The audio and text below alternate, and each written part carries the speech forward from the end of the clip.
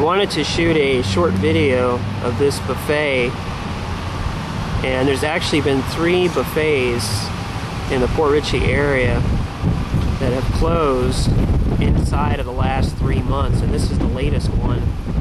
It's called the Super Royal Buffet. It's up here in Port Richey near the Gulfview Square Mall and uh, my sources told me that this place had closed about three days ago and according to the sign on the door, it says that they're going to be reopening soon, but I highly doubt that because recently another buffet had closed and put up put up a sign and 3 months later it still hasn't reopened. So I don't expect this place to open open back up anytime soon. I'd like to say one thing about the buffet, the Super King buffet that closed. It's in the same plaza where the Fashion Bug shut down and liquidated just a few weeks ago. And there's also a uh, Ross in this plaza and a Books a Million. And then at the very west end of the plaza, past the Sports Authority, was the buffet. All the way right there. You can see it. And now we're at the Golden Corral, or what was the Golden Corral. This buffet restaurant was also, or is also, in uh, 34668 Port Richey. And this one closed back sometime during December. And I'm going to get a shot of the front of the restaurant here in just one second.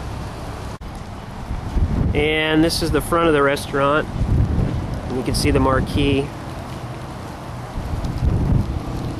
near the entrance there behind that tree. I don't know if it's rising food prices that are shutting these places down or what, but this is a buffet closing number two, and I'm going to shoot number three here in just a, just a few minutes. I have to get a little further north here, but this is significant. And this is our last stop. This is the Ichiban Buffet.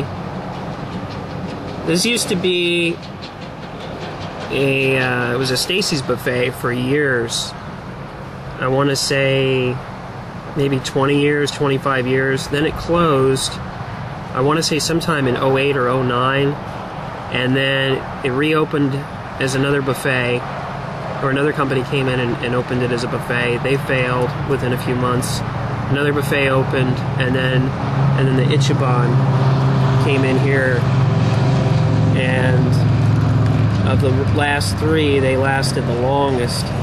But I really don't expect another buffet to come in here. But I just find it astounding because this one closed in December as well, and literally there's three buffets. This this is one of the three. Three buffets have closed in Port Richey in the last three months. And I really think that, that a large part of that has to do with the rising food prices. And as the fuel gets higher, I think I think we're going to see a lot more restaurants get wiped out, not just in this area, but but everywhere. Not a good prospect, especially in the middle of a depression. So, thanks for watching and take care.